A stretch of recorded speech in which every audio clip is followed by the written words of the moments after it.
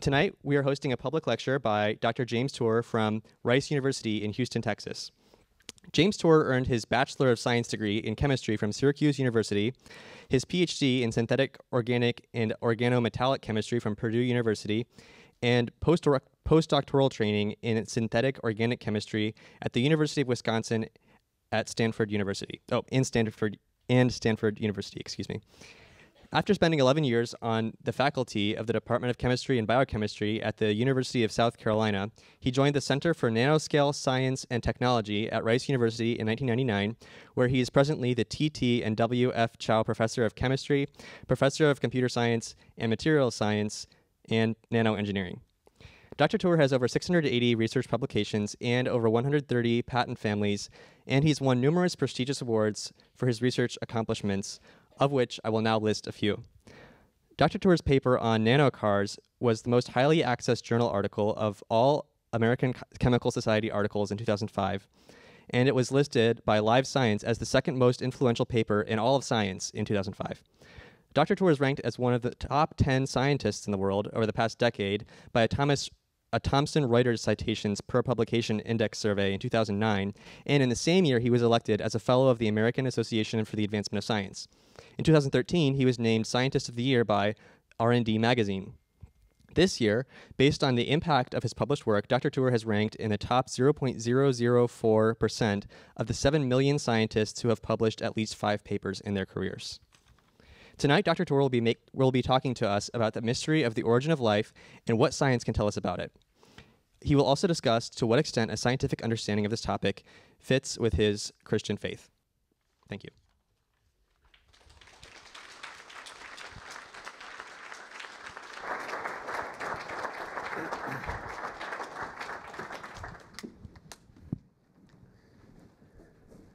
Well, thank you very much for the invitation here.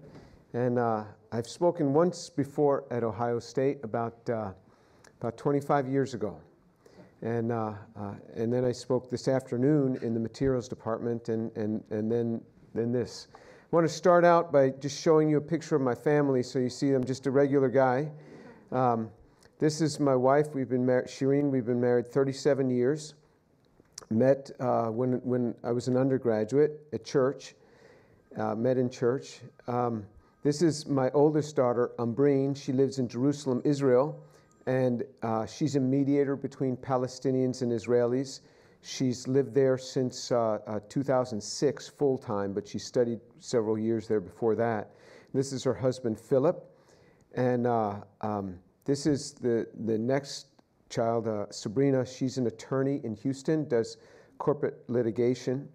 And then Josiah, he's a medical doctor. And Ben, he just finished up with um, as an investment banker with JP Morgan, and now he's doing private equity with uh, Madison Dearborn in Chicago. And these are our two grandchildren, Umbreen and Phillips, uh, girls, and um, they're our little treasures. So we're just a regular family. Um, let me just show you a few different areas that we've been working on recently, uh, some of the things that occupy my time during the day, to show you that, that I'm a real scientist. I don't just write popular books about science. Uh, this is a, a topic called laser-induced graphene. This, we, we can turn any material now into graphene, any carbon material. So we convert the carbon atoms directly into graphene. Graphene is single atomic sheets of graphite. They're one atom thick and it's the strongest material known at those dimensions. We can turn the carbohydrates, uh, carbohydrates of bread into graphene, coconut into a supercapacitor. Uh, this is going to spawn at least five companies.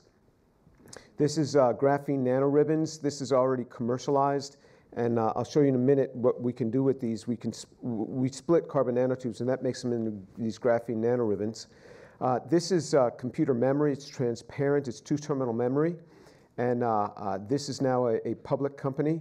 And uh, um, so, so that's already been commercialized. This is a, a, project where we work on traumatic brain injury, which is the number one disabler of young adults, and stroke, which is the number one disabler of older adults. And um, it's also, also uh, uh, working toward dementia. And so that's another company that will probably start in Q1 of 2020. this is uh, a scale up of graphene. Uh, this is called flash graphene. This is a huge area that just, uh, uh, we, we discovered this just about a little over a year ago. This is now a, a, a, company that has recently started, and we can make large quantities of graphene now very cheaply from any carbon source. We can turn into, in, into graphene in bulk. Uh, we've learned how to take plastic waste and make it into a material that can absorb CO2 and uh, uh, be able to trap CO2 from flue gas. This is graphene quantum dots. Graphene quantum dots, um, uh, when we started this work, they were $1 million per kilogram. We learned how to make it from coal, which is $100 per ton, in one step. And so this is uh, now a company, uh, a public company, and it's used in high-end shoes and purses for putting ID tags in it that are fluorescent so that it's, it's very hard to, uh, uh, to mimic this. So it's for authentication to say that it's the real deal. Uh, this is graphene with carbon nanotubes growing out of it seamlessly. This has uh, been translated into battery electrodes. It's a battery company just about 30 miles outside of Houston. Uh, we work in this area of making 3D graphene structures. We can, this is a, a 3D printed graphene, all one sheet of graphene. And then we work in this area of nano cars, where these little cars, where they have these motors, you shine a light on them, and the motor will spin at 3 million rotations per second and push that car along. And these are so small, you can park 30,000 of these across the diameter of a human hair. Uh, and and uh, so they're really small. And, and then we, we also take these motors and we put a peptide on them so we can target them to a specific cell type.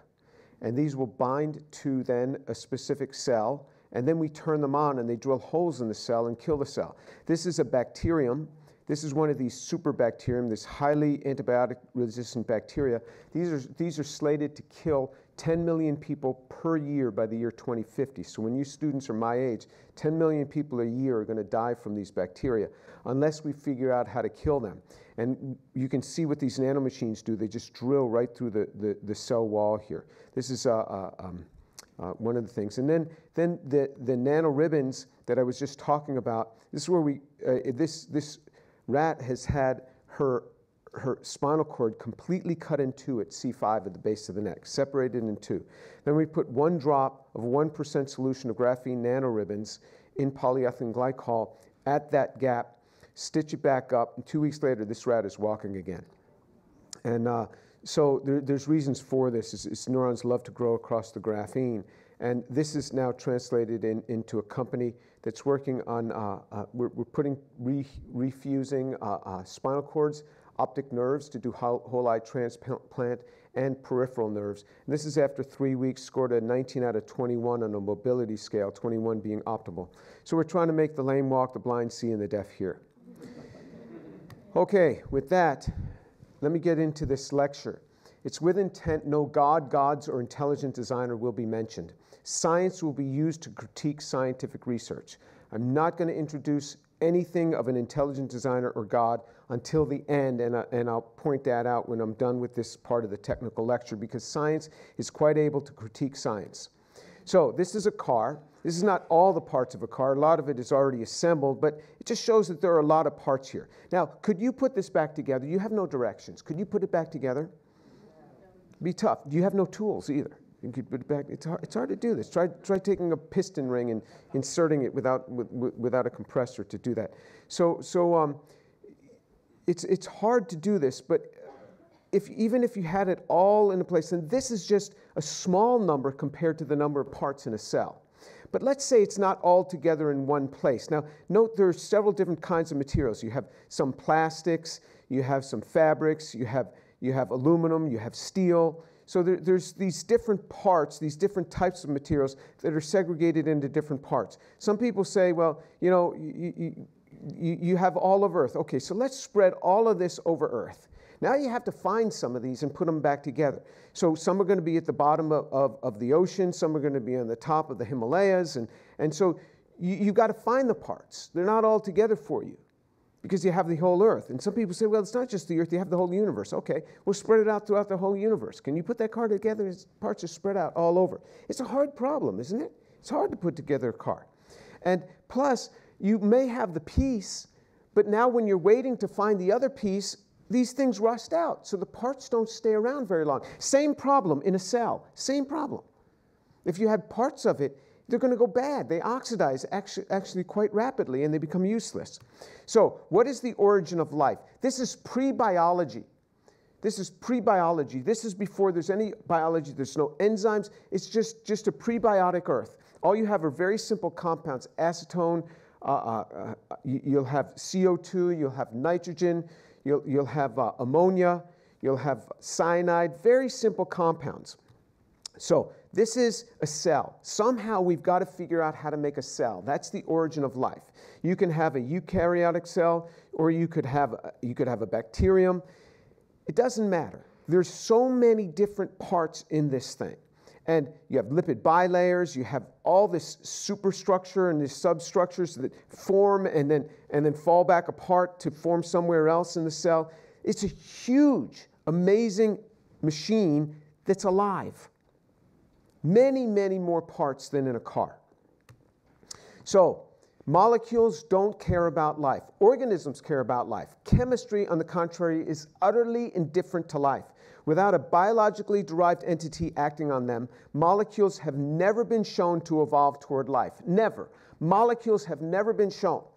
People, even trying to make ordered molecules is very hard. Nobody has ever created life, ever. We'll go over that more. But molecules don't move toward life, never.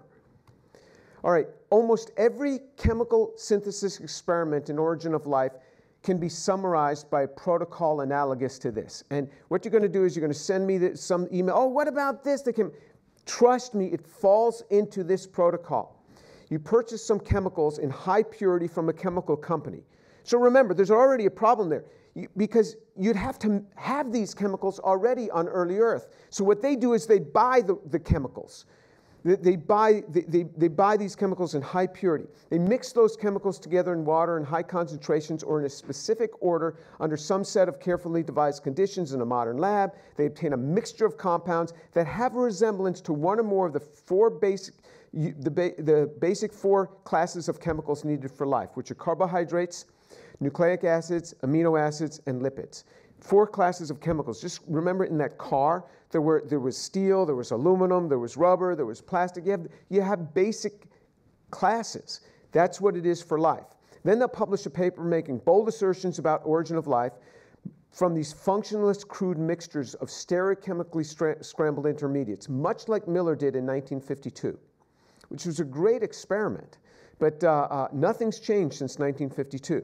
You engage with the ever, ever, gullible press to dial up the knob of unjustified extrapolations. Watch the mesmerized layperson say, You see, scientists understand how life was formed. And then you encourage a generation of textbook writers to make colorful, deceptive cartoons of raw chemicals assembling together, which then emerge as slithering creatures from a prehistoric pond. That's what's taught. So here's the synthesis problem. Molecules that compose living systems always almost always show homochirality. That means that you can have a left-handed and a right-handed molecule, and they're non-superimposable. That's why you can't put a right hand in a left-handed glove. And nature will almost always make one and not the other. And how does that happen? Well, now we have enzymes that construct these because you have biology and then if something is constructed in a wrong way, you have other enzymes that check it and break it up to make sure it doesn't contaminate the system. But how that formed on a prebiotic earth, pre enzymes, there were no structures there to build nobody knows. Nobody knows, absolutely clueless, how this came about. When building molecular systems, constant redesigns are needed, which take the synthesis back to step one. You make a mistake, you put on a group, you can't take it off again. It's stuck there. You have to go all the way back to step one very often. You have to go back to step one. And the problem is that, that um, uh, uh, it's often impossible to remove it. So, how do you go back to step one? But remember, nature, if it's going toward life, which it doesn't know that it's going there because it doesn't have a brain, it's just a prebiotic earth, it doesn't even know its target. Doesn't even know. So, if it puts on a group, it doesn't know that it put on the wrong group. It doesn't know because it has no brain. Nobody knows how this thing is solved.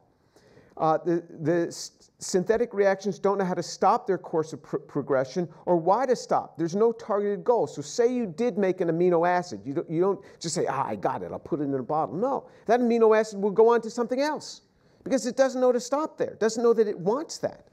Time, although claimed to be the great savior of abiogenesis, can actually be the enemy. For example, carbohydrates are kinetic products.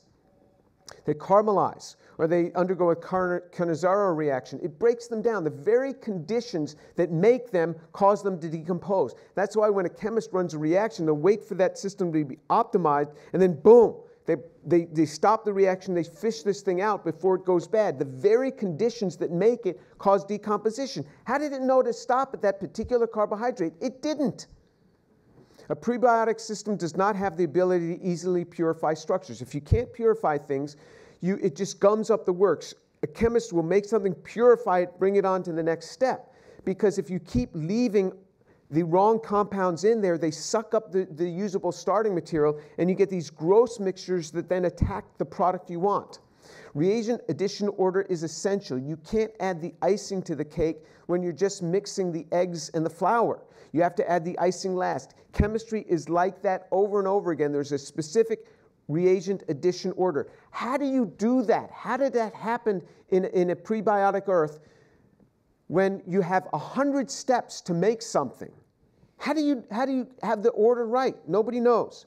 The parameters of temperature, pressure, solvent, light, no light, atmospheric gases, everything has to be controlled to build a complex system. Characterization is very important. If you can't characterize, you don't know what you have. So chemists will characterize, and characterization often takes longer than the synthesis itself. How are things characterized in biology? Again, you have enzymes that check structures, but remember, remember, this is a prebiotic earth. There are no enzymes to check structure. Nobody knows how characterization is done. A chemist cannot make things without doing characterization. The mass transfer problem. Uh, the lights are really in my eyes, so I can't see very well up here, but are there any synthetic organic chemists here? You're going to have to not just raise your hand, you're going to have to say yes, because I can't see anything out there. No synthetic organic chemists here? Anybody? All right, well, then you, you don't know. I mean, you have to believe anything I tell you. But the mass transfer problem is the killer of all routes. So you start with a kilogram of material. You might try to get to a target five steps away.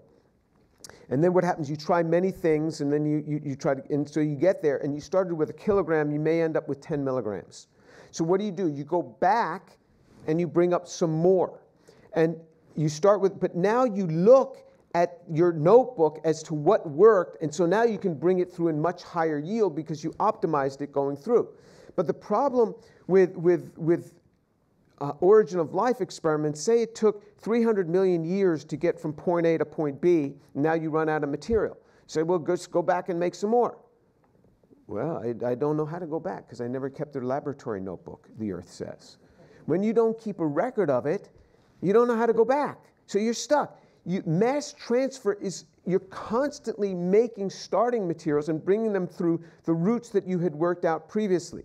Nature keeps no laboratory notebook, so it doesn't know how to go back, or doesn't even know why it would want to go back. It's got no brain. So this is one of the, the motors that you saw that spins at 3 million rotations per second.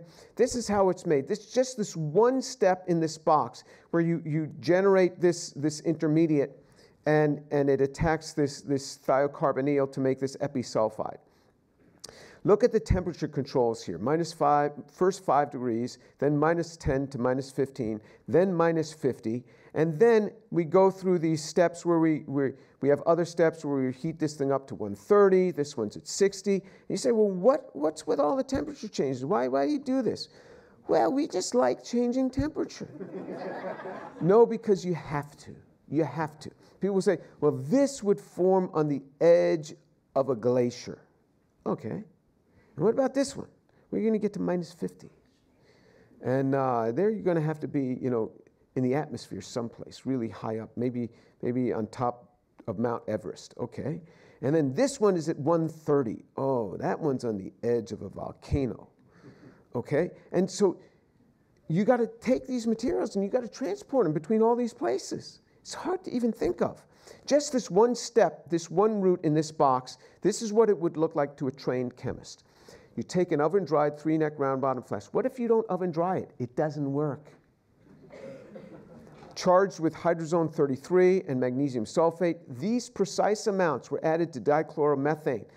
To the suspension was quickly added manganese dioxide at about 5 degrees. This was immediately cooled. And, and then you go through this. This is hard to do.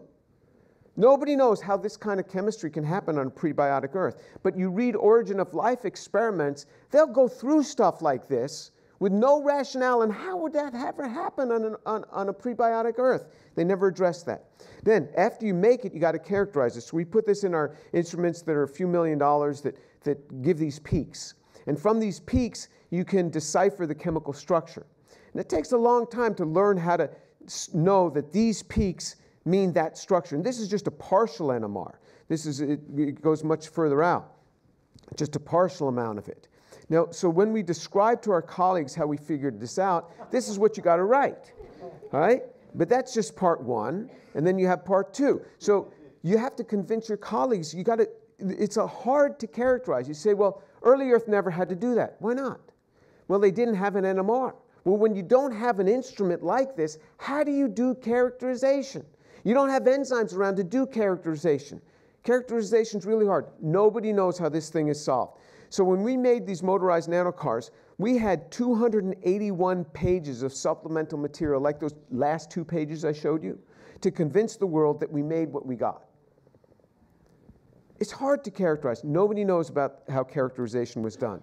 And then the first car we made, it would, the motor would spin at 1.8 revolutions per hour not very fast. But you pull out that sulfur atom and you close that down to a five member ring. Now it spins at 3 million rotations per second. So small changes make dramatic differences. Well, how do you get rid of that sulfur atom? Well, you just erase it. So you just erase But really, what you have to do is you have to go back to step one. There's no way to pull out that sulfur atom. There's no known methodology to do that, even with all the enzymes that we have. No, no known methodology to extract a sulfur atom. So if you make one little error, you're stuck. You got to go back to step one. But remember, no laboratory notebook was ever kept. You're in trouble. All right, so that's just making the raw chemicals. We have no idea how the raw chemicals were made, those four classes of compounds the carbohydrates, the lipids, the amino acids, and, and, and, and uh, um, uh, uh, the nucleic acids. We, we, we, never, we have no idea how they were made. All right, so we don't have no idea how those car parts were made. Clueless. Now, let's say you had the car parts, could you assemble it? Well, here's the assembly problem. You have to make what's called a protocell. People call this a protocell. Well, most protocell assembly experiments in origin of life can be summarized by this. You purchase homochiral diacetyl lipids. You purchase, you're purchasing the parts. All right, you purchase those and then you publish, a, and, and then you put those in water, you shake it up, you get these little bubbles. It usually has to go through shear. And so, so uh, you get this bilipid membrane with water inside. And they call this a protocell because they say this is really like a cell. So let's call it a protocell. It's a self organized, endogenously ordered spherical collection of lipids proposed as a stepping stone to the origin of life. Then you publish a paper claiming that the synthetic vesicle is a protocell and suggestive of early life forms. Then you engage with the media to ramp up the hype, and the layperson is misled. That's what the assembly experiment. Well, here's the real assembly problem. This is what a real lipid bilayer looks like. It's got a bunch of trans proteins, it's got these sugars on the surface, and it's got all these other things. And so, what most protocell experiments will be is they'll take one type of lipid and they'll assemble this there's been over 40,000 different lipids that are known for, for, uh, uh, these cell, for cellular structures where they form these bilayers. And then the organelles inside each have their own lipids. So you have a lipid bilayer and other lipid bilayers around the mitochondria, some around the nucleus, and they all have their own composition. Nobody knows how to do that, even today in the most modern laboratory. Nobody knows how to take different compositions of, of uh, lipid bilayers and have them assemble in this way, where you even have non symmetric outer and inner, inner side. So, in other words, the lipid bilayers on this side are different than the lipid bilayers on this side. This artist drew them all the same. They're different, they have different composition. Nobody knows how to make that, even in the most modern labs today. So, the protocells that you make, which are like oil in, in, in, in, in vinegar, have nothing to do with what, what a real protocell, what a real cellular membrane looks like. Then you have all these pro proteins going through. These are complex structures that allow certain molecules in and certain molecules out. Allow certain ions in. You have ionophores that allow certain ions in and certain ions out because if you throw off the ionic potential between the inside and the outside of a cell, the cell explodes, undergoes necrosis. There are sugars all over the surface of cells. These are carbohydrate appendages. So let's, and these are huge, but let's just take a simple hexamer, six units of the carbohydrate D-pyranose. Let's compare this to DNA, because when you say DNA has a lot of, can hold a lot of information, whoa, DNA. Okay, let's think about DNA. Say you had six bases of the A base. What's the ways that you can hook those six bases together? A, A, A, A, A, A. That's it. What's the way that you can hook, how many ways to hook D-pyranose, this simple sugar, together? Over 1 trillion constitutional and stereochemical isomers. Over 1 trillion ways you can hook it together. If it's hooked together the wrong way, the cell doesn't work, it dies. This cell is covered with these carbohydrate appendages, usually much bigger than six units, usually much more than just a D-pyranose. It'll have other sugars, so the number of, uh, of isomers is much larger. Most people don't know the difference between a million, a billion, and a trillion. Let me help you. So 1 million seconds is 11 days. All right? Person says, wait, wait a million seconds. Okay, I'll wait 11 days and then you'll pay me what you owe me. But if they said, wait a billion seconds, that's 32 years. Is that different? If they say, wait a trillion seconds, that's 32,000 years. That's what happens when you go from a million to a billion to a trillion. This has over 1 trillion isomers, 1 trillion ways you can hook it together. Nobody knows how those were hooked together. The carbohydrates can carry far more information, far more than DNA itself. Nobody knows how these things are hooked together. And the, the carbohydrates that are made come from an initial DNA template, but then downstream enzymes keep changing these as that cell undergoes other changes and, and through the life of the cell. Nobody knows how this ever could have been done on a prebiotic earth. So how do, how do uh, origin of life researchers address this? They don't. They just don't. So then there's the interactomes. This is the non-covalent interactions that, that happen within a cell. If you just take a very simple cell, like a yeast cell, and you look at just the protein-protein interactions, what is this? This means that the molecules that are non-covalently, they're not hooked together, they're just lined up next to each other. Those are the non-covalent interactions. Information passes through these at the speed of light. These are non-bonded interactions. Uh, uh, chemists will call this the electron cloud, this, the, the, this electron cloud interaction between them. Physicists call it a virtual photon going between them. This occurs at the speed of light. Information is transferred at the speed of light through non-covalent interactions. You have to have the right arrangements. If you just look at protein-protein combination, not protein nucleic acid, just protein-protein interactions in a cell, in a simple yeast cell, you can have 10 to the 79 billion combinations. Well, how big is that? Well, all the particles in the universe is estimated as 10 to the 90. Here's the number of combinations you can have of protein-protein interactions within a cell. This is a huge number. This is whopping big. Remember, this is all the elemental particles in the universe. You say, do you mean all the atoms in the universe, or do you mean all the, the neutrons, electrons, and protons in the universe? It doesn't matter. The difference between those is only like a factor of 100. We're talking numbers that are factors of 79 billion. These, this is just crazy big numbers. Nobody knows how, the, how, this thing, how these things come together. And I'm just scratching the surface of, of, of the complexity within a cell. That's the basic unit you have to have for life. All right, so, proto-turkeys. Origin of life protocell assembly is akin to buying 20 pounds of sliced turkey meat, adding a gallon of turkey broth, warming, sticking in a few feathers, and suggesting that a live turkey will eventually come gobbling out if given enough time, or that a proto-turkey or extant turkey has been synthesized. And this is what protocell experiments are like. They, they don't address the complexity at all. And they talk about this nonsense like we're almost at life. Then there's the origin of information. Critical for life is the origin of information. DNA or RNA. The information is primary, the matter is secondary. Information is primary. Matter is secondary. You can store information, you can write it on a piece of paper, or you can type it into your computer. It's the same information, but it's stored in two different mediums. The medium is not the important thing as much as the information itself. Nobody, does, nobody knows where the information come, came from. We can't even get the matter, the carbohydrates, the nucleic acids, the lipids, and the proteins. We can't even get that let alone the information. So even if you had the nucleic acids, you don't know the order to hook that thing up to be the, the template, the prescription for the enzymes to form to build that cell. Nobody knows where the code of information came from. Clueless. All right, try to build a cell even hypothetically.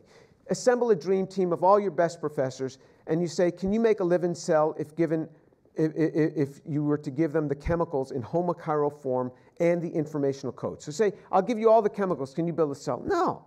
All right, I'll give you the informational code. I'll give you DNA in any order that you want. I'll give it to you. I'll give you the RNA in any order that you want. I'll even give you the enzymes all assembled. I'll give you the, the lipids all in homochiral form, whatever lipids you want. I'll give you all the proteins, all the ionophores, all the carbohydrates in whatever form you want. Here they are, all in separate bottles in your modern laboratory, not under a rock outside, but could you make a cell? And anybody in the right mind would say, no way. I have no idea how to put, assemble those together into a cell. And even if I could, I, I, I don't know how to get the thing running that would spark life. We have no idea. You say, well, you've read about synthetic cells. In 2010, Craig Venter's team copied an existing bacteria, bacterial genome and transplanted it into another cell.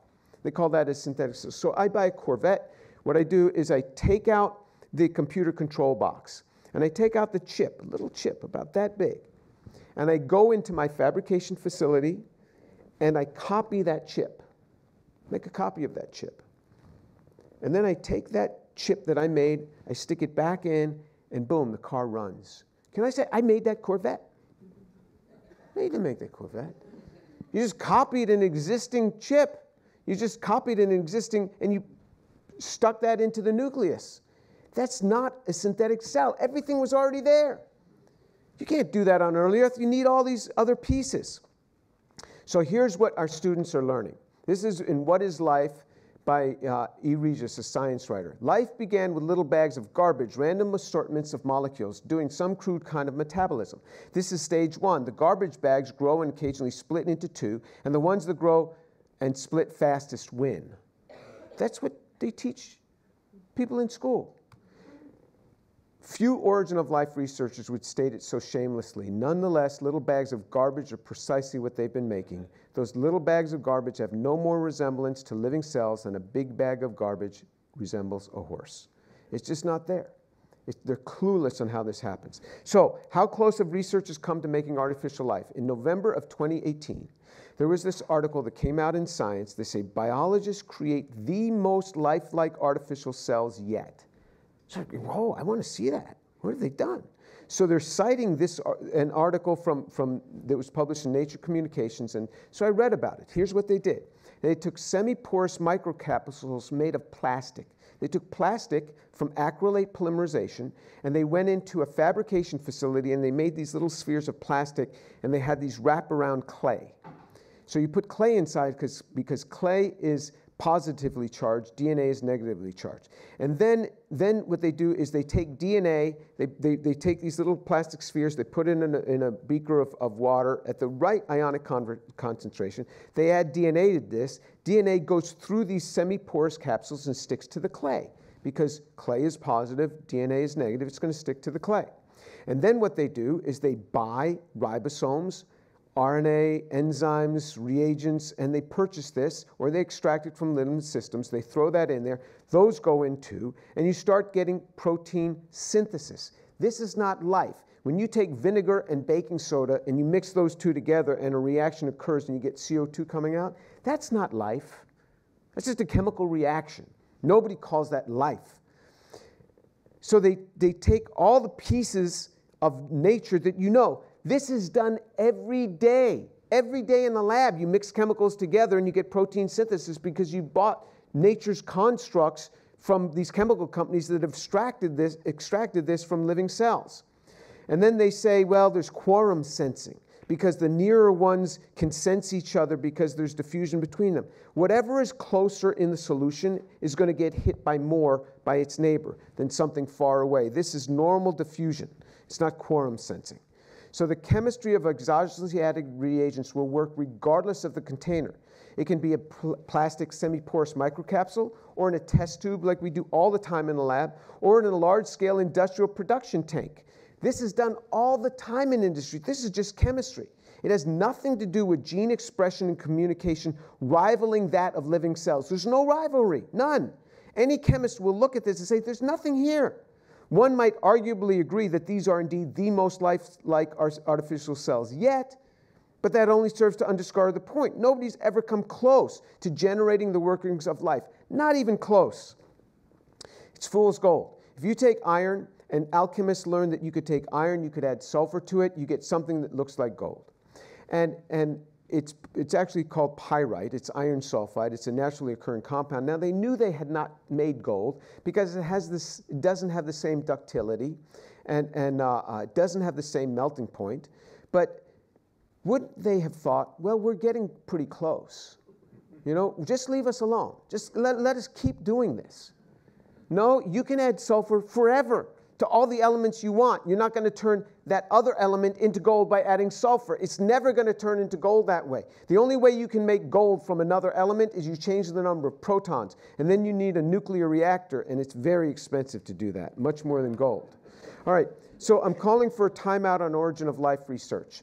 That, that a change is warranted. We got to figure out where life's code is. We got to think about how the assembly into interactomes, the mass throughput, or tell me why this isn't even important. But we haven't moved in 67 years since Miller-Urey. Nothing has changed.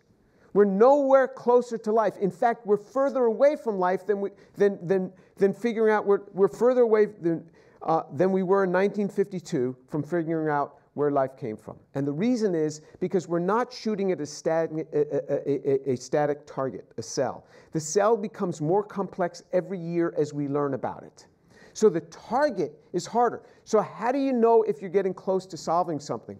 You look at where you've come, but we're further away than we were in 1952. So that's why I said, let's have a timeout. I wanted to call it a moratorium, a cessation. But that scares people. So, how, okay, let's just have a timeout, all right? Timeout. That's what you guys do here on your football field, right? Official timeout. And let's, let's, let's start something else here. All right. Now, let's think about evolution because, because I just talked about uh, origin of life, and many students think about evolution. So let's think about evolution too. Evolution is both about the mechanism by which change occurs over time and the theory of universal common descent. So in 2016, I really wanted to try to understand evolution. So I went to my colleagues, and, uh, uh, and this is what the geneticists told me. This is a quote from them. Evolution is both about the mechanism, that's their own words, by which change occurs over time. Okay, so I've got to figure out the mechanism, and the theory of universal common descent.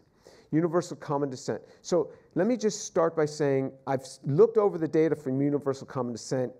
I can understand why those fluent in the field of genetics would be convinced by the theory, if universal, uh, uh, by the theory, this should be by the theory of universal common descent.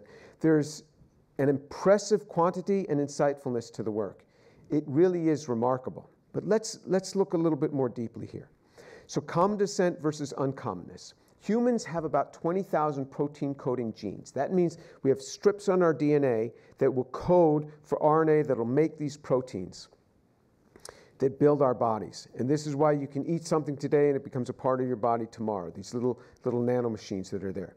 Now, this is on 1.5% of our genome. That's it. The other 98.5% was formerly called junk DNA. So there was a large scale project instituted by the US National Human Genome Research Institute in 2003 called Project ENCODE, and it sought to figure out what's the function of the other 98.5% of the DNA in the human genome. Because this was called junk DNA, they said it had no function. Well, it turns out they don't call it junk anymore. It's called intergenic regions. So there's ENCODE evidence that part or even much of the intergenic regions have regulatory elements that can affect gene transcription, the building of RNA, the, con the construction of enzymes. So the uncommonness is noted in the intergenic regions, not the common 1.5% protein coding genes. So when people say we are 99.9% the same, as a chimpanzee, they are correct when you look at 1.5% of the genome. There's differences that occur in the 98.5% of the genome. All right, common descent versus uncommonness. Work on orphan genes, also called orphans, casts new light on the uniqueness of some genetic information. Orphan genes are considered unique to a narrow taxon, generally a species. Therefore, orphan genes are, again, markers for uncommonness. All right, the uncommon human being. Humans alone have the capacity for art, music, advanced communication, advanced mathematics, and religious practice, which constitute the broader organization of symbolism. Therefore, if one is intent upon a common descent model, there was a massive and presently unexplainable infusion, intrinsic or extrinsic, along the proposed very short descent pathway from Australopithecines to modern humans. Okay, so what do I mean? So when people say that, that, that we have a common ancestor, so, so the idea is that there's a common ancestor from this bridges off the line that's going to go toward humans and then the line toward chimpanzees. Not that chimpanzees are in our line, but we are from a common a, a common ancestor. So that, that's, that's what, what is believed. Now, if you look at this descent pathway, just before you hit humans, you have either ne ne Neanderthals or Australopithecines right there. So between Neanderthals slash Australopithecines, to us, something happened in our brains that make us who we are, that allow us to work in this broader organization of symbolism where we can do advanced mathematics. You can describe something to a person. You can say, I want you to go out this room, walk 10 feet north, three feet uh, uh, uh, west, and dig a hole seven inches in the ground, and you're going to find a piece of paper with a code on it. And anybody can do that. Try to, try to explain that to a chimpanzee. I mean, there's clearly differences here. Something has happened here. So something happened in this, in this descent pathway. If it were an intrinsic in, infusion, if the infusion were intrinsic, then the requisite anatomical or chemical differences between the modern human brain and other hominid brains are presently indiscernible and unfathomable. And the chemical basis of evolutionary mechanisms, remember that was their word, it's all about mechanisms, for such changes is both unknown and presently immeasurable. If the infusion were extrinsic, then the materialist evolutionist and the supernaturalist have common ground. Something happened between Australopithecines and the human brain, if you want to go by a common descent model. And we have no idea of the mechanism by which the brains changed to go from no symbolism to symbolism. No idea of the mechanism. All right, here's, a, here's another, the mechanism problem. If you look at a body plan change, this is all from Wikipedia. Body plan is how our limbs are, are, are projected from our bodies human beings are different than elephants and how our limbs are projected. And, and so there's this, this blueprint of symmetry, segmentation, body plans. It is believed that body plans evolved in a flash in the Cambrian explosion. But a more nuanced understanding of animal evolution suggests that the gradual development of body plans uh, through the early period of the Paleozoic. Nobody knows the mechanism for this. Nobody understands how a complex system changes. so the mechanism problem. Any massive functional change of a body part would require multiple concerted lines of variations. Sure, one can suggest multiple small changes ad infinitum. You ask a biologist, how does that happen? One small change at a time. And? What do you mean, one small change at a time? But the concerted requirement of multiple changes all in the same place at the same time is impossible to chemically fathom. One day, the requisite chemical basis might become apparent so that the question can be answered. But present day biology is far from providing even a chemical proposal for this functional change, let alone a data substantiated chemical mechanism. So when I ask my colleagues, show me change in a complex system, they, they will throw at me the, the immune system, which the immune system morphs on what's presented to it. It does, it's amazing. But I say, but it remained an immune system. It never became a digestive system, an optical system, an auditory system. It stayed the system that it was. Show me the mechanism, even a proposal on how you could change one complex system to another, which you have to have all the time in evolution. And they're clueless. They say, oh, this is all well known. If you're a biologist here, you are angry with me right now. But I ask you to do this because I, I, I, want you, I want you to passivate your anger by doing this. Find for me the articles showing the chemical mechanism for the change in a complex system. You can't find it. You say, oh no, these are well known. I have spoken to biologists, and every time a biologist has opposed me, I said, find me the reference. And so then they never send me the reference. So I ping them. I get there, and I, and uh, where's the references you're going to? I'm very busy. okay? Well, I understand you're busy, but how about next week? Could you send me the mechanisms? And they said, You could look this up yourself. I said, I haven't been able to find it. This happens repeatedly with me because as soon as you go to look, you're not going to find. Remember, chemical mechanism is carbon, hydrogen, and oxygen. This is what you got to show me a mechanism. And so, when it comes to evolution of a complex system, system, evolutionary biology has been reduced to storytelling with little chemical mechanistic data to support the claims. It's just not there. There is no, no chemical mechanistic data to support change in a con, in a, of a complex system.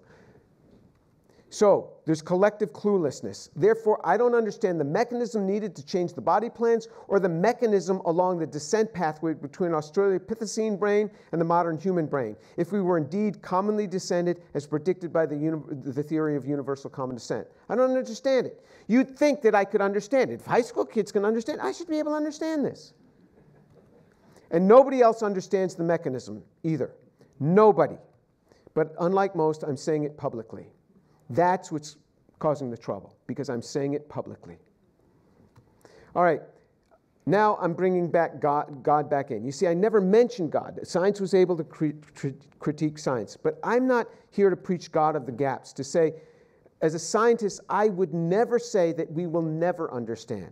One day in the distant future, we might understand life's origin and evolution of a complex system. We might.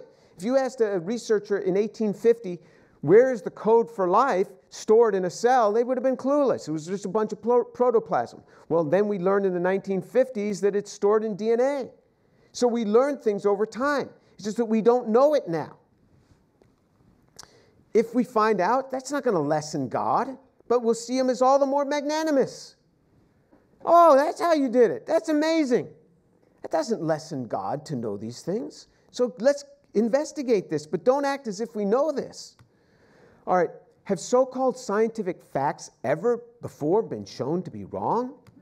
Well, does the universe have a beginning? Scientific fact, quote unquote, changed in 1964. The steady state theory replaced the Big Bang theory. In, in the 1950s, the vast majority of scientists believed that the universe had no beginning.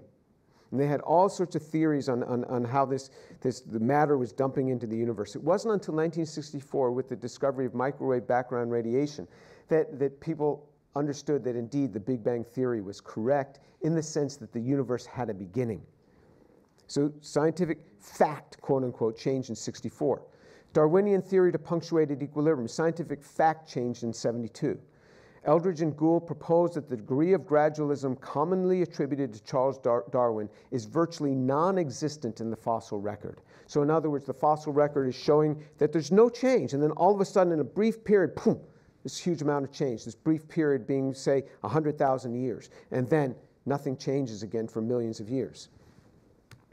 Climate change killed off the dinosaurs. That scientific fact changed in 1980 when it became due to the asteroid impact, the Alvarez hypothesis, where an, an iridium rich asteroid hit the Yucatan Peninsula, threw dirt into the air that obscured the sun, the plants died, the herbivores died, then the carnivores died, and that's what wiped out the dinosaurs. It wasn't due to climate change. That fact changed in 1980.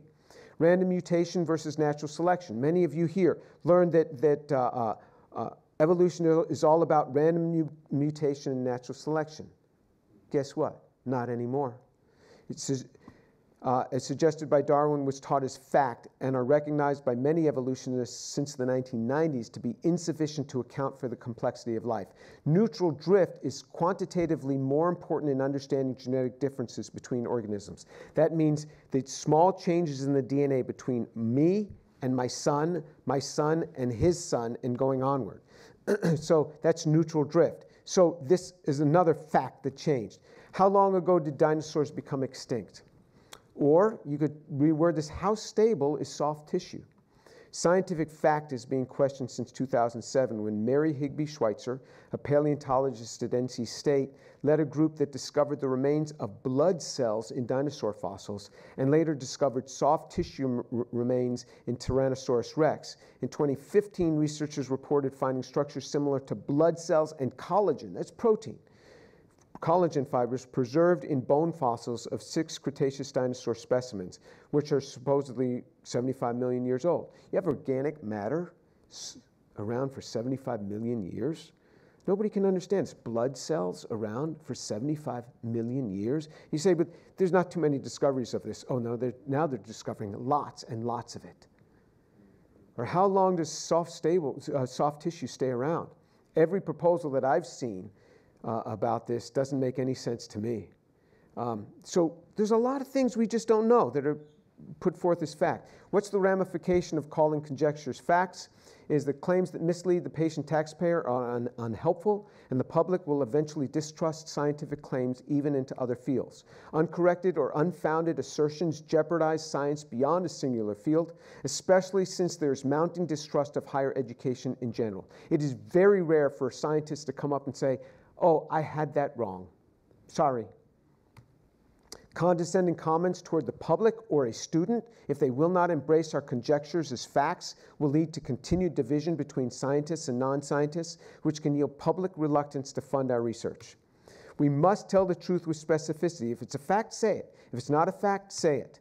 Blackballing scientists if they bear legitimate nonconformist views by excluding them from professional societies and academies, withholding their funding or denying them tenure is anti scientific and it will retard the advancement of science. All right, are, are, there any things that, is there, is there a, a controversy between scientific fact and the Bible? Well, what is a fact? Water, H2O, has two hydrogen atoms and an oxygen atom. That will always be the same anywhere you go in the universe. That is a fact. There has never been discordance between scientific facts and statements in the Bible, so there's no need to reconcile them. So called scientific facts, which are really theories, are constantly changing, even on the order of decades and certainly on the order of a century. So trying to twist the Bible to fit the scientific theories is a frustrating endeavor. Don't let professors with their bold claims of facts upset you. Theories or conjectures are not facts, but unfortunately and shamefully, many professors themselves do not make the necessary distinctions. This leads to the confusion of generations of students and even professors themselves. I deal with professors all the time. they're so many times they're clueless on this. So to the student inundated with misinformation, if you're a believing student, believing in the Bible, God gives us something. When he was speaking of false prophets, he said this You must not listen to the words of that prophet or dreamer. The Lord your God is testing you to find out whether you love him with all your heart and with all your soul. It is the Lord your God you must follow, and him you must revere. Keep his commandments and obey him, serve him and hold him fast. Maybe God's trying to see do you really love him? These scientific, quote unquote, facts that you're saying have drawn you away from your faith, let me know. Are they really facts? Are they really? Let me tell you about how I came to faith in Jesus Christ. I'm, I was born into a secular home just outside of, uh, in, in New York City and grew up just outside of New York City. Uh, when I was in college at the age of 18, I was, I was doing laundry in a laundry room and, and I met a guy and he had me read this verse. We got to talking. He said he was on the football team. I said, Do you want to play pro ball when you graduate? He says, I'm not good enough for that. He said, What do you want to do? He said, Oh, I want to go into lay ministry. I said, What's lay ministry? I mean, Jews don't know what lay ministry is, all right? And, and he says, Oh, it's just like being a missionary. And I said, Missionary? Why would you want to be a missionary? It's 1977. We got TV. Just beam it in there. and he said, Could I give you an illustration of the gospel? I said, Sure. I, fine. I, I, didn't even know what he meant. I thought he was going to draw a picture. And then he drew a picture. He drew this. There were no computers back then. He drew this on a piece of paper. And he had me read this verse from the Bible For all have sinned and fall short of the glory of God. He had man separated from God by sin. And I looked at him and I said, I'm not a sinner. I said, I'm not a sinner. I never killed anybody and I never robbed a bank. How could I be a sinner? Then he had me read another verse, of all verses. But I say to you that everyone who looks at a woman with lust for her has already committed adultery with her in his heart. Now, there was a problem. I was 18 years old, and this was my life. And I was addicted to pornography. From, from, uh, for years, I'd just, just been, been fed with pornography. And, and uh, um, that, that was the first time that I looked at this. I said, if that's the nef- definition of sin, then I'm a sinner. That was the first realization that I was a sinner. Then he had me read another verse For by grace you have been saved through faith, and that not of yourselves. It is a gift of God, not as a result of works, so that no one may boast. By grace, he, he said, this grace is an unmerited favor, undeserved gift. God is giving you an undeserved gift. Again, it's a gift through faith. This is an interesting, interesting gift. This gift you receive through faith. Most gifts you have to take it. This gift you receive through faith. It's an interesting gift. You receive it by faith. It's a gift of God. It is not a result of works. I remember him drawing these arrows. Good works are not necessarily bad, but they will never get you to God because God is perfect and you are a sinner. There's nothing you can do. There's this feeling that people have well, if my good works somehow outweigh my bad works, then I'll get to heaven. Not according to the Bible. It's not a result of works. For the wages of sin is death, but the free gift of God is eternal life in Christ Jesus our Lord. I remember he said, This wages of sin is this eternal separation from God, is this death. But there it is again a gift, a free gift of God is eternal life in Christ Jesus our Lord. It is a free gift. But God demonstrates his own love toward us in that while we were yet sinners, Christ died for us. This is a demonstration of love. Jesus died for me. I didn't even know there was a claim on the table that Jesus had died for me. we never discussed this in my home. Never. But God demonstrates his own love toward us in that while we were yet sinners, Christ died for us. This is a salvation that is for sinners. If you're not a sinner, this is not for you. Go get your salvation somewhere else. The Bible says Christ died for the ungodly. If, you, if you're godly, again, this salvation is not for you. He died for the ungodly. God demonstrated his love toward us in that while we were yet sinners, Christ died for us. He offered up his son. What are you going to do? You're walking down the road, you're walking down the sidewalk, you're, you're holding the hand of your three year old, you're walking down the, the, road. And a big dog comes running toward you, growling and foaming at the mouth. And so, what are you going to do? You're going to take this kid and hold this kid out and say, take, take the kid, leave me alone. You're going to do that? No. Anybody's going to pull this kid away. They're going to let the dog even bite them to protect the child. This is normal. God says, I'm going to demonstrate my love to you. I'm going to take my son, who I love so much, and I'm going to give him up for you. This is the greatest demonstration of love. He demonstrated his love. Jesus bridged this gap. And I remember he drew this cross just like that across there. And then this is a key verse that if you confess with your mouth that Jesus is Lord and believe in your heart that God raised him from the dead, you will be saved. Now, this is like a crazy hard verse. You confess with your mouth that Jesus is Lord and believe in your heart that God raised him from the dead, and you will be saved. How can you set this as a bar for salvation that you got to believe in your heart in the resurrection? I've never seen a resurrection. It's hard to believe in this. I've never heard of a resurrection other than in this case. I've never heard. How, how can there be a resurrection? You set that as a bar for salvation? That gets you to God. So, the night of November 7, 1977, I was right in that room, room 1812 at the Lawrence Dormitory. I was all alone in my room. He shared with me in August. Now it's November. I had carried this burden of sin. I knew I was a sinner. And in room 1812, on that day, I got on my knees and I said, Lord, forgive me because I am a sinner. Lord, forgive me because I am a sinner and come into my life. And what was interesting is all of a sudden this burden of sin started to lift and this forgiveness started pouring in on me. And then someone was standing in my room. The door hadn't opened, my roommate wasn't there. Someone was in my room right next to me. And I opened my eyes and I couldn't see with my eyes, but the presence of God was so strong right there. And I just started weeping like a baby. And love was being poured out to me. Love. And Jesus stood right next to me and poured out love to me. And I wasn't scared. I just enjoyed his presence. He wasn't going anywhere. And I was just crying and saying, Something happened to me that day. Finally, when I composed myself, I didn't tell anybody. What's this Jewish kid from New York City going to say? What am I going to say? And then two weeks later, the guy who had shared with me, he lived on the 18th floor as well, and he saw me in the hallway there. He says, Jim, have you received Jesus in your heart? I said, I think I have. Why do you ask? He said, You haven't stopped smiling for weeks. Something happened to me that day. And I asked him, How can I keep this feeling of closeness? He said, You read your Bible every day. You'll stay close to God. You don't, you won't. That was digital for me, and I could do that. I've read my Bible every day for over 40 years.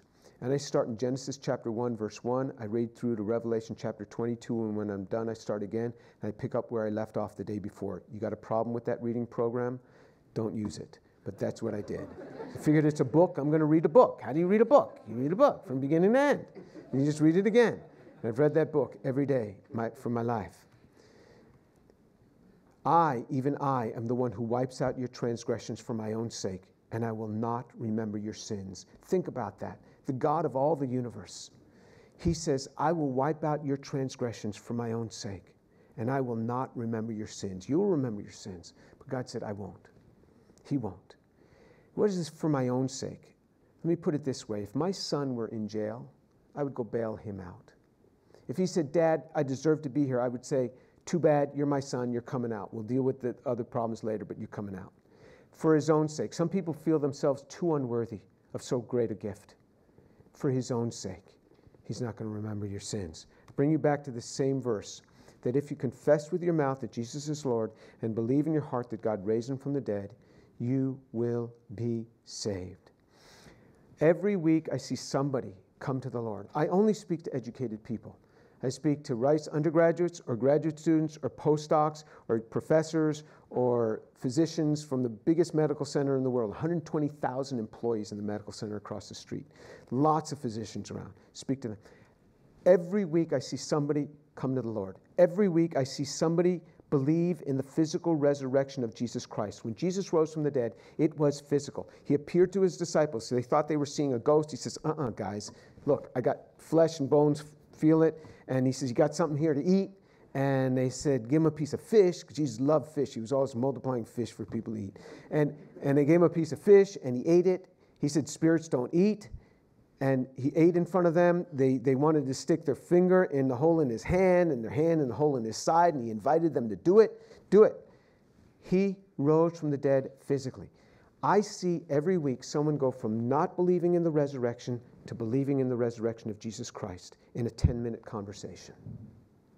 How do you get an educated person to go from not believing in the resurrection to believing in the resurrection in a 10 minute conversation? How does that happen? The only explanation I have is that the truth of the resurrection is already in your heart. It's already there. This is too high a barrier. I couldn't convince you of Santa Claus in 10 minutes. But the resurrection of the dead is already in your heart. If you do not know the Lord, I urge you, I beg you, I invite you this very day confess what's already there that Jesus Christ has risen from the dead. He would never make this as a barrier for salvation if it weren't already there among his elect. It's already there. Confess to what's already there that Jesus is Lord and believe in the resurrection from the dead. I'm going to pray, and if you do not know the Lord, I ask you to invite him into your life even now as I pray. Pray with me, please.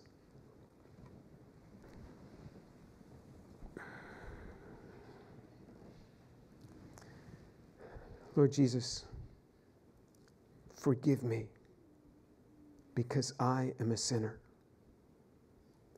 I believe that Jesus is Lord, and I believe that He has risen from the dead. Forgive me, and now fill me with your Holy Spirit. In Jesus' name, amen. Let me just say, I just recently started a, a, a, uh, a YouTube channel, and it's on Facebook and it's on Instagram, and we're moving it into these other platforms. It's just drjamestour.com. You put that in, and, and I'm putting a bunch of things on there because uh, it, I have a lot of videos on the internet have been posted by, uh, by others. Um, but here I'm just speaking to you know these simple messages, short little things, some about science, some about faith. Many people say, "How can you be a scientist with faith?" And so I show you. I give you a little thing about faith, and then give you a thing about science. This is how you do it: science, faith, science, faith. That's how you be a scientist with faith. Okay, I'll leave it at that, and I'll open it up for questions. And we got a microphone here, and we'll take questions. I think you have to come up here, and uh, um, Eric will hold the microphone. And I ask you, please ask your question in the form of a question. And, uh, and, and I know everybody's got a diatribe. Not here, not now. Uh, just ask your question. If you don't have a question, then, then uh, uh don't come up. All yeah, right. so uh, I'll just have the mic up here. Come up and ask the question. Hi, thanks for coming. Um, at the very beginning, uh, in your first slide, you said, you said something that just hit me very, uh, very quickly. That was, you had mentioned about nanotechnology and optic nerves, something like going on with that. Would you, could you elaborate on that sure. Just as, as we saw the healing in the, in the spinal cord, we're trying to get an optic nerve to reconnect. Because if you can do optic nerve, you can do whole eye transplant. The blood vessels can be done, the muscles can be done. It was being able to cut one one optic nerve and hook on another one because you got to cut at the optic nerve, take the new eye, put it in, and put it in there. Nobody's ever seen the reconnection of an optic nerve. And so we're working on using the same technology that we use for the spinal cord to do an optic nerve reconnection. And then if we can do that, then we can uh, uh, do a whole eye transplant. So I, have had a, I have a student of mine in a laboratory in Colorado where they just uh, study eye transplants. And he's brought this technology into that lab, and that's what they're working on. Well, Dr. Tour, thanks for coming out. Um, my question is about um, panspermia and um, uh, when people talk about extraterrestrial origins yeah. as being a possible uh, source of the uh, abiogenesis. So I was yeah. just wondering what your thoughts were on that. Right, I, am fine with, with, with aliens bringing life here to Earth. I'm fine. But I'm not talking about just origin of life. I'm talking about first life, origin of first life. That had to start somewhere. You want to translate it to another planet, and then somehow it came here either on a meteorite or, or, or, or some other creatures planted it here. I'm fine. You still got to deal with first life.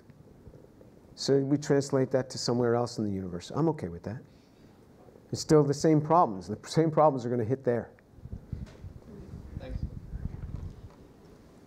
Thank you, Dr. James, for being here. So my question is that what is your response to the notion that some people make that 99% of people die in the faith that they're born into? So for example, you gave an example that, you know, Jesus came before me, he changed me, while other people of other faiths claim that, you know, God revealed to me of, of my faith and he changed my life and I'm just as much as happy as you are. Why should I accept your claim? Like, yeah. you know, there's no possible way of verifying that somebody can rise from the dead because they will claim that, well, my God did this miracle and these people witnessed it in this part of the world and this is 3,000 years old. How would you say to them? Like, how would you prove that to them? So. Yeah. So I don't prove anything. I don't prove anything. Um, I'm not here for people's happiness. In fact, the Bible says that all those who desire to walk godly in Christ Jesus shall suffer. So I'm not preaching happiness here. Um, when people die in another faith, all I know is what the Bible says. And the Bible says that, that no one comes to the Father but through Jesus Christ. Now, there were many people that were clearly saved and had a relationship with God prior to the coming of Jesus to this earth. We have the Old Testament saints, lots of them. And it says that they went and they were in the bosom of Abraham. Jesus described it. They were in the bosom of Abraham. And uh, Jesus went and he took them. He took them with him and he took them to heaven after he had died on the cross. So we have a construct for that in the scriptures. If other people are dying, in the, dying without ever having heard Christ, I have no idea how God deals with that. But I know that he is righteous and he is just. But I have no idea. I'm not God. I'm just a chemist, actually. Nobody else, huh? Come on down if you want to come. Can you, can you make it?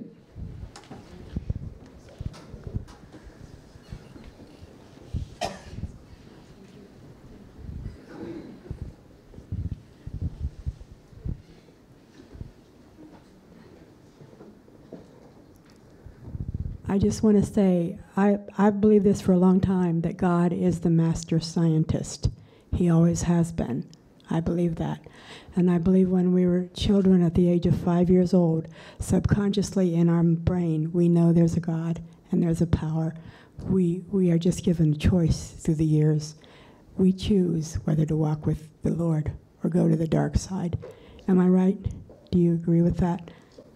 Or Yeah, I, I, I don't know at what age. Um, you, you know, there, there's there's like this is this is put on by Ratio Christi, and so there's there's like half the people in here are apologists, so they'd probably have an answer to that. Um, you know, it, it, it bothers me a lot when, when people talk about science, talk about, say, chemistry, and they know nothing about chemistry, and they demonstrate it every time they say something. I, I don't know that very well, you know, and, and, and, uh, and I'm glad for you, and I'm glad you believe that. As a scientist, I have to separate to say, I believe something. That doesn't necessarily make it true. It might be true, but that doesn't necessarily make it so. I, I, can't, I can't say that what you just said is true. I wish I could, but I can't because I have to separate. So when a student says, I believe this happened, I said, What do you mean you believed? Either it did or it didn't. Do you have evidence for that? What is your evidence? Do you don't have it doesn't go by what we believe in science. So I'm not sure that I can answer that. Uh, I, I, ju- I just don't I don't have a mechanism to answer that. I know I'm really dull for you people because you want me to take a position. You're very good. But but I, I just don't I just can't. One other, do you, well, I shouldn't, are we, do you think we are the higher primate? Us human beings? Oh, We're clearly. I mean, there's, are not, the- are the there's nothing else in our class. There's not, not even close. We are the, Not even close. right, right, I mean, throw up a few integrals for, for a chimpanzee and see what they do with it. yeah. You know, give, give, them, give them some organic chemistry mechanism and see what they do with that. I mean, it's, it's not even close. Thank you. Just one more quick question. Um, have you read the book *Sapiens*, and uh, what is your opinion of that? No, I haven't read the book Sapiens, but I'm sure I have it. I get about five books a week sent to me by wonderful people, publishers, authors, and just kind people that want me to read things, and like 25 YouTube videos that I'm supposed to read each week, and like 25 or 50 PDF articles that people want me to read each week. And everything is a must read. And I get, and, and uh, um, I frankly don't read any of it because I have a day job and it takes up a lot of time. So I, I don't know the book. Uh, um, uh, I, I read the Bible every day. If you've got a question about that, I can give you a, a, a, a non theologian's perspective on it. I'm sorry. Anybody else? Okay. Thank you for coming. In your experience speaking with uh, atheists, non theists, uh, has there been a common turning point where you would see that this particular uh, information or argument that you're offering to them, is there a most common turning point where you would see someone start to uh, change their position? Yeah. So, so I, I, I speak with atheists all the time. Some people think, well, you know, you're speaking with people who come from a background of a Christian home, and so you, you just underscore. A lot of the people that I speak with are from China, and they're coming from communist homes, and they never had anything. And I see them going from, from not believing in the resurrection to believing in the resurrection in a short conversation. And I, I don't use philosophical arguments. I don't know how to do that. And I know that there's people around that do that, and I'm, uh, whatever you use. I just quote exactly the scriptures that I gave you today, is what I used with them, one after another, and I bring them right to the resurrection. And they go from not believing it to confessing it and signing up. I get them signed up for a 13 week Bible study. I've never had anybody that I brought through this that didn't agree to a 13 week Bible study, an hour a week, in something called Growing in Christ by the Navigators Campus Ministry. And so um, uh, it, it's, it's not complex. And I've seen atheists all the time coming to the Lord. I cannot explain this. It's just like I said how do you explain an educated person going from not believing in the resurrection to wholeheartedly believing in the resurrection, knowing that it's going to change their lives by confessing this. This is a mystery. This is, this is, this is just amazing, and it must be that, that God has placed this on the heart. That's the only way that, that I could think that it could happen because I have no scientific rationalization for this other than a miracle. And once I claim miracle, I step outside the bounds of the physical sciences, outside the bounds of thermodynamics. It's a miracle, and that's why we call it a miracle, so it can happen. Uh, one thing that um, you didn't mention that I am not sure where it fits in is um, the flood. I always sort of thought, and I've been to the Creation Museum, that the flood killed the dinosaurs. So, yeah, yeah. Um, and and that was one question, or let, that, let, what you let think me, of let me that. answer that before I forget. So, so, look, I don't know what killed the dinosaurs, and I know that there's claims that the flood killed off the dinosaurs, and and uh, um, uh, so so.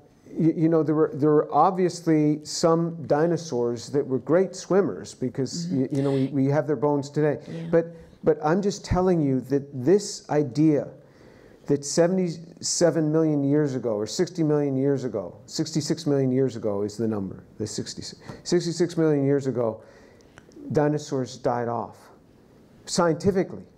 I just am scratching my head. How do you get soft tissue remaining? And I've looked mm. at people's arguments, you know, Fuzz Rana, for example. I looked at his argument Right. for how soft tissue is going to remain, and I'm like, it's not satisfying to me at all as, a, as a synthetic organic chemist. Right. It doesn't make sense to me. And so I just haven't seen a good explanation. Right. So Act, I'm don't sorry, I forgot that. I'd gone to the Creation Museum, and actually, they they did believe that no, it had some dinosaurs there, and I saw that Okay. same quote you mentioned that was there, that about the soft tissue that they found. Oh, okay. that was living. But the other thing is, you, did you? I want to clarify with the. Um, is Neanderthal man the same? It was Austrio. Australopithecine? Per, yeah, is are are to me there's just man.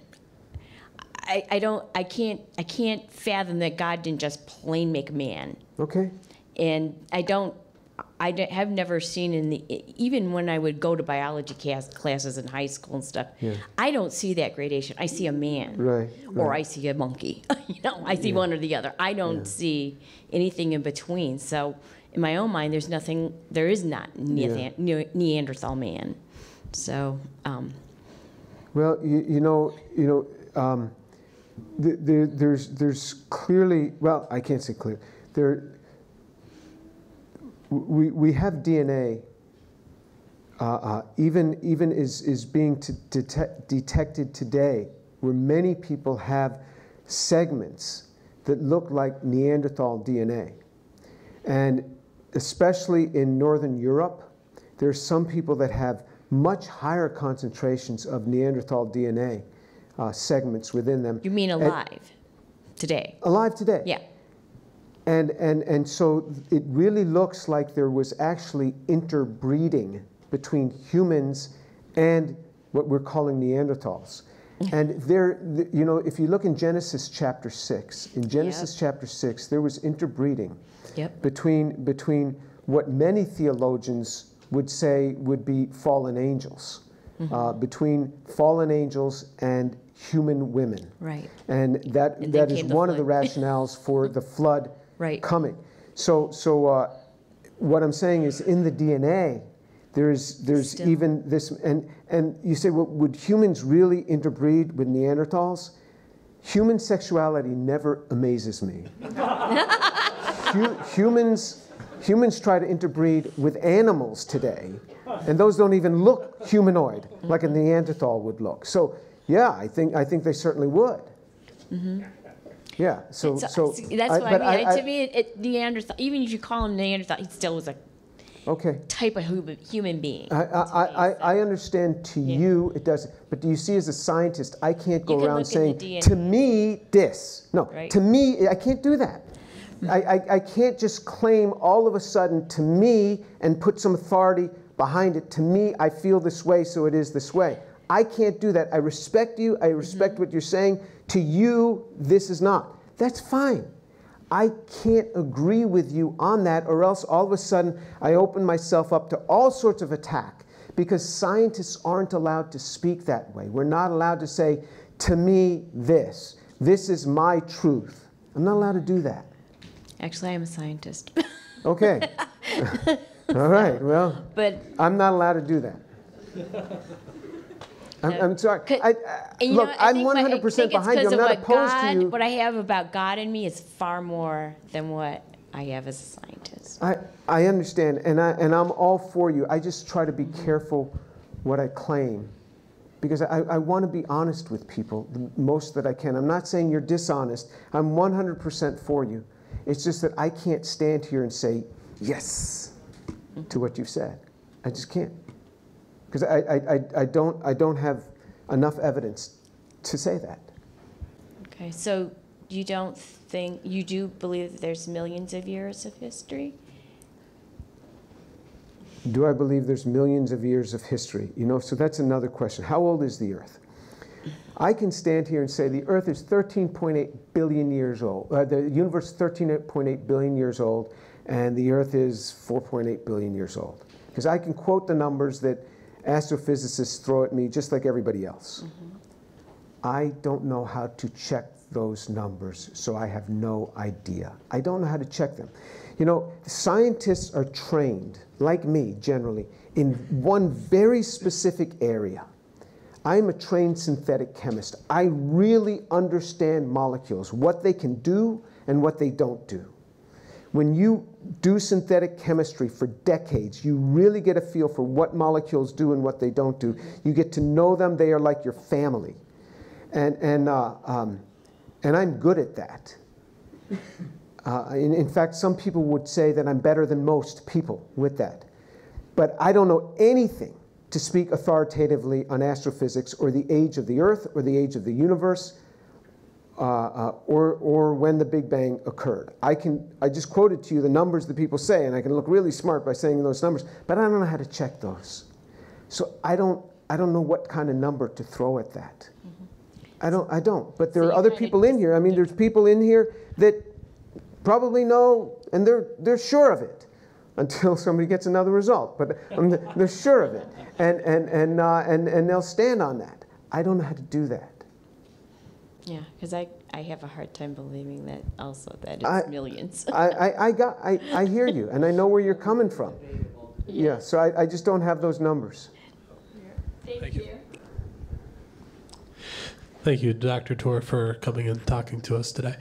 Um, so you mentioned that you were uh, suggesting a timeout uh, with uh, some of the the facts that you mentioned and uh, just not having evidence for them. Uh, has that been well received at all? No, no, nobody receives this. You think these guys are going to stop with their research? No, no way. But I, I, I will tell you something, an interesting story. So um, uh, that, that, that's, that's similar to that. So somebody wanted to get me, a very rich man, a very, very rich man, said that he would get me together with the top five people in origin of life research. And, and, uh, um, and I said, sure, let's, let's do it and let's discuss what are the key things that need to be addressed to know that we're going in the right direction here. And uh, um, all the others would not meet. This guy would, he would fly us to Paris, he'd fly us to London, anywhere we want to go. Business class flights all the way, limos pick us up in our home. And I know he does this because I've gone to others of his meetings like this. And he'll rent a beautiful facility for us and we'll have servants the whole way. Just to discuss this because he's interested in topics like this. None of them would agree. One said, one said that, uh, um, and, and I, I you, you, know, I, I can't say who, they, who it is because, but one said, I would only come if I didn't have to defend anything I've written. An another one said, oh, well, Jim Tour's religion has so influenced him, it's no use even talking to him. I don't even bring religion into this topic. They have some religion maybe, but I don't bring any religion. I, all my articles on this are purely scientific. I never even bring in some, some, some intelligent designer somewhere. I never even do that. I just say, here's the chemistry. So they, they, they won't get together with me on that, which is, which is quite telling. But one, another thing happened recently. I was recently contacted by a group overseas, someone who works in an Origin of Life research group. And he's worked in that group for many years. And he said, I was watching one of your videos online, and I was laughing the whole time because I realized you were right on every point. And I said, you know, th this, is, this reminds me of the story of Gideon when he went down to the Midianite camp and God showed him what they're saying about him and it, it, it, it, assured him that he was going, he was doing the right thing. And, and, and so I said, I never thought I'd hear it from someone in your research group there. He says, oh, I want to tell you, all the students here are watching your video too, and they all agree with you. But I understand with students, you got to finish up your PhD. you, you, just got to do it. So I, I, understand that. But the arguments that I'm putting forward the, to the novice, they may think, oh, well, the expert wouldn't agree with them. The arguments that I put forward are strictly chemistry, strictly chemistry arguments, and it's not something you can, you can easily argue with. And in fact, my colleagues who are not particularly, they're not, they have no dog in this fight. They're just synthetic organic chemists. They look at this and they're like, are you the only guy calling these origin of life people out? and, and, and so they just look at the data. So the arguments that I put before you today, if there had been organic chemists here, they're the ones who get it the most. They're the ones who like, yeah, we have no idea. So I don't know, did I answer your question? Yes, thank you. All right.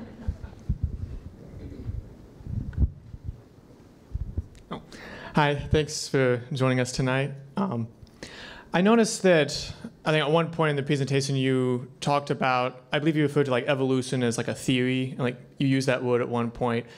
and I remember you know keep hearing that like the word theory has a different meaning in like scientific context, where it's not just a conjecture or hypothesis, but like a well-established um, explanation for the way things are, and there's tons of evidence behind it, and you know, I think I've heard analogies to the theory of evolution being like the theory of special relativity and, and things like that. So, uh, you want to comment on that? Sure. So, um, look, we, we see quote unquote evolution in the lab all the time. It depends on what you define as evolution. So, the word evolution is used so broadly. That's why I kept saying evolution of a complex system. Show me the chemistry behind the evolution of a complex system. We see evolution in the lab all the time, depending on what you call evolution. Small changes with it, you see this all the time. And so it's all lumped together under evolution. That's why I tried, I put on the title, Evolution of a Complex System. Now, as far as a theory, if you would like a different word, we can say a conjecture. We can say a proposal. Uh, but these are proposals, they are conjectures based upon evidence that they have. And I understand you do this, you put forth hypotheses. You want to use the word hypotheses? You put forth hypotheses. But what's happened is we hold on to these hypotheses. We hold on to them and we treat them as if they are facts, so that if there's a student in the class who disagrees or who has trouble with that, they're mocked. They're not just left alone, they are mocked. There are professionals who are at my level who are not put forth in certain societies and for certain awards because we cannot buy into those hypotheses because we don't see the evidence that's convincing for us. And the other thing that happens, and, and I'll tell you, this, this is a real thing, is that you have a group of scientists here, and I've sat in their presence, and, and uh, uh, they will say there's a hundred million people in this country that don't buy into evolution. What is wrong with the United States? There's a 100 million people that don't buy into it, and those are all the, the Trump supporters. And I'm like, what are you talking about? Maybe the 100 million people don't buy into it because you haven't convinced them. Could that be? Could that be that your hypothesis hasn't been convincing for them? But they speak condescendingly of a 100 million people. And I've heard it with my own ears, and I've confronted them on this. And there's people that have seen me confront them on this. And they don't buy into it because the evidence isn't there for them. They're not convinced. And what I've tried to show you is that theories that people love change over time. Conjectures, you don't want to call it a theory, call it a conjecture. Hypotheses change over time. This is natural. So let's not hold on to them as facts and, and, and uh, blackball these people because they don't buy into it or speak of them as they're a bunch of idiots because they don't buy into it. That's the problem because it's the 100 million people who fund your research program. You sure you want to speak to them like that? They're the ones paying for this. And, and therein lies the problem. Okay? I'm not upset with you. I just, I just get passionate sometimes.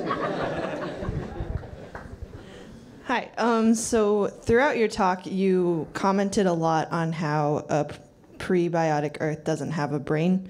Um, so from a lot of what I've heard in my training in thermodynamics says it's not a brain problem; it's a probability problem. So I was just wondering if you've done any numbers or like if you if you because there was the one number up there yeah. the like 10 yeah. to the 90 but yeah. oh yeah so so the numbers have been crunched over and over and over again mathematicians have gone through these numbers for decades the numbers are no way are we ever going to get life the numbers are so far against you i don't show the numbers because i'm coming with an argument that few people have come up with that few people have brought forth. There are some that have brought, but certainly not in the recent past. And so I'm showing you chemical arguments. The things that I talked about interactomes, interactomes are very new in people considering interactomes, the non-covalent interactions. So then I showed the probability of the numbers against that, but I was showing it in the context of a chemical argument.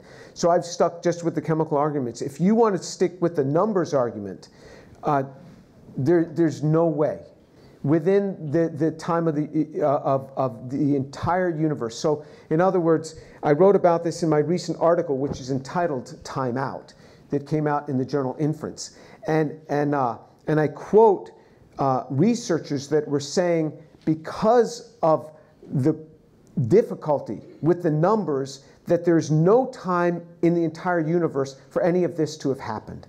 Not just by a little bit, but by a huge amount. So, what does the author do? He grabs hold of an infinite number of universes. And so when you have an infinite number of universes, you're talking about infinity, then one could happen. So he, he, he, he confessed that there's, the universe doesn't give enough time, so we're just going to have to go to an infinite number of universes. And that's, that's, that's just hard for people to buy. It's just hard. Thank you. I have a question. Just small. No, one. you, you run Ratio Christi. I mean, oh come on, just one. Hard. So, uh, what about the word chance? Way people use it in today's lingo, like saying "give it enough chance." Ch- they use chance all the time. Yeah. Is chance yeah, yeah. really a cause? Can you address that? I know it sounds so basic. Could you, you address it? You sound like you have the answer to this. I this I may, I may not, question. but I just want but, you to address yeah, it. Yeah, yeah, and, and I thrown around everywhere. I, I tried to address this with time.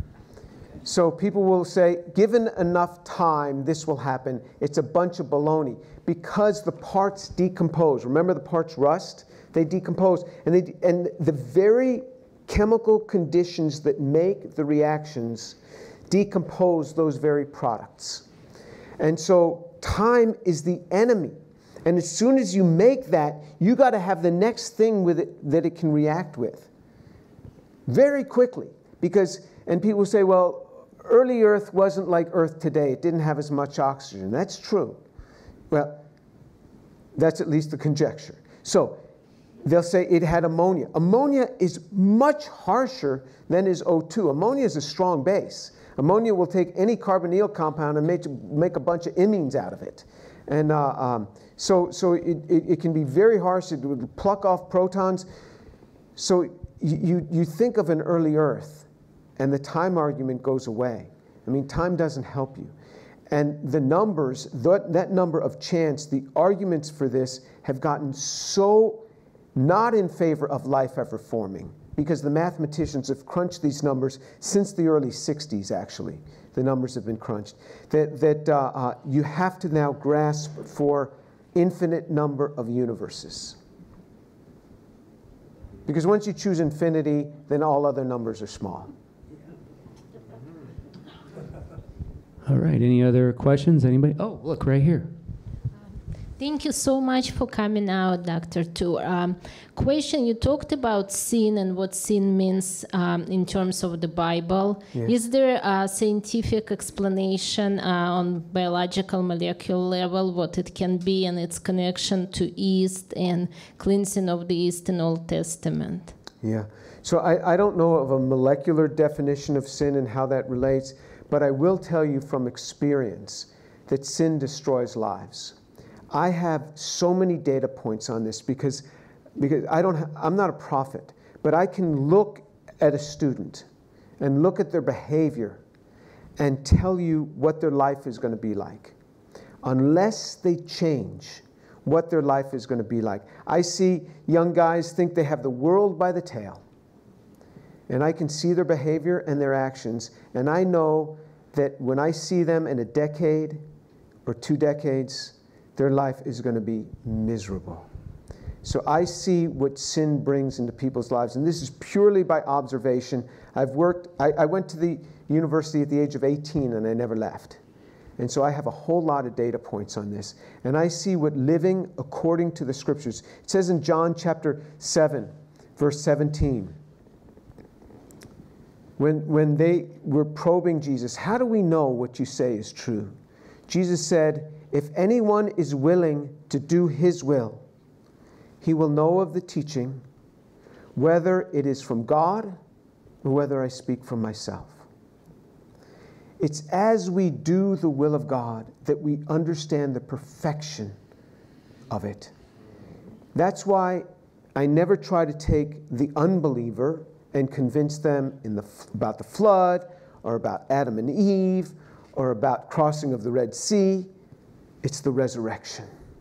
That's what the scripture says is the burial. It's the resurrection. And that's the thing that's been placed on the heart of men and women that they can go away with and believe because it's already there.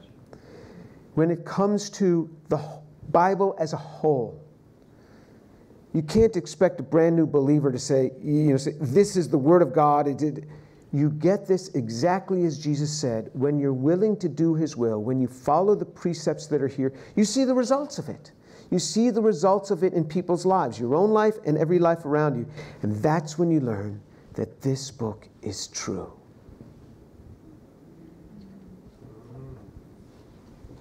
All right, anybody else? I think we're about wrapped up here. All right, one more.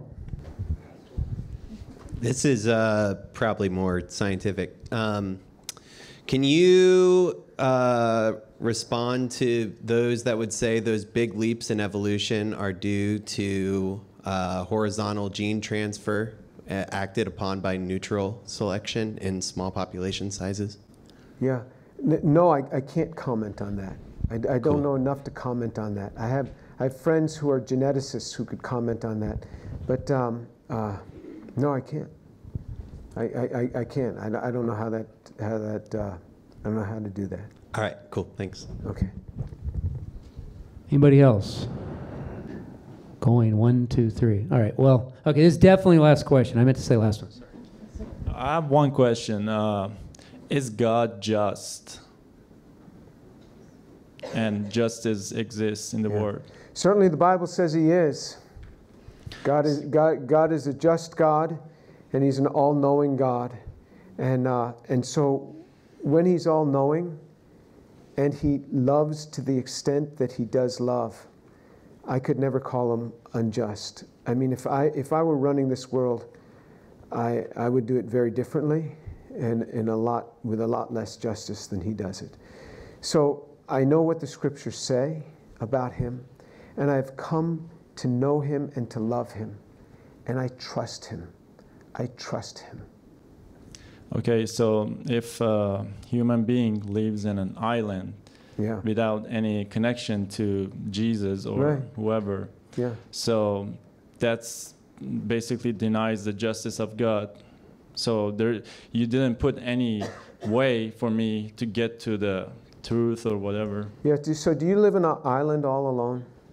Is that where you live? No. All right. So I did give you a way, and you do have a way. For the man or the woman who is on the island all alone, first of all, it's interesting how they ever got to that island without ever getting seeing any other people. But if they were, my God is a just God. He would deal with them according to his mercy and his goodness. My God would be a just God. You, sir, need to deal with this for yourself. You throw out these hypotheticals, and Jesus comes to you and He's touching your heart. He is the one that is touching your heart. And I pray that you have a vision of Jesus coming to you. And that shows you that indeed God is, and He is kind and gracious as He comes to you in this vision, because I know you believe in visions. I know you do. And He will come to you. I believe in all gracious God. prophets. They're great men, but uh, being Jesus the the only truth is, I think it's not true. All right. Well, well, may Jesus come to you and show, show you his way. And I pray that when he comes to you, your heart will be open, sir.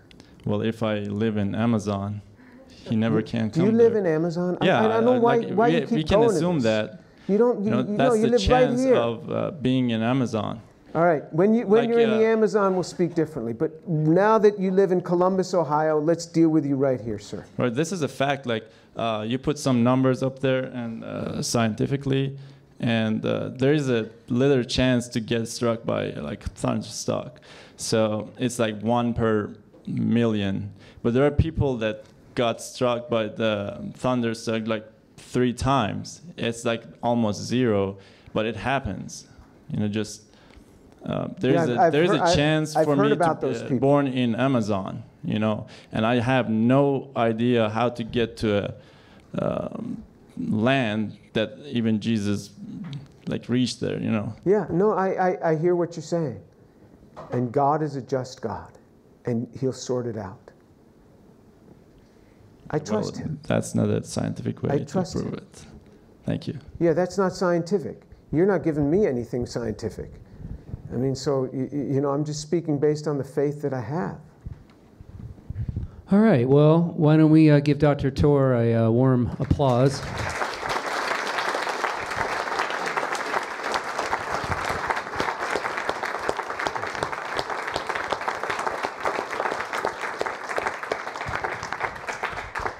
Thank you so much, and uh, we appreciate everybody coming out. And uh, we're we have a table out in the back if you want to find out more about us. But have a great night, and thanks for coming.